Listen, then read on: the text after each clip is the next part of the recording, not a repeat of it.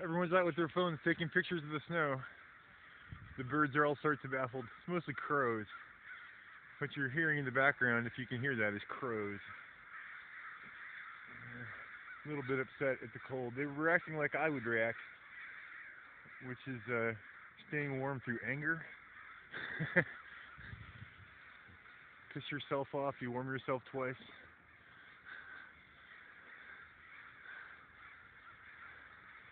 Anyway, it's 420 out at the park.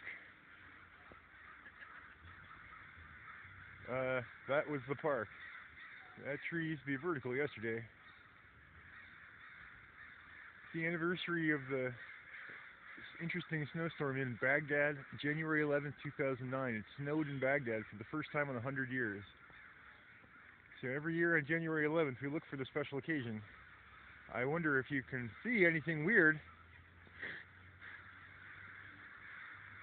you'll notice there's something strange about the park today. Anyway, look out for that fake news.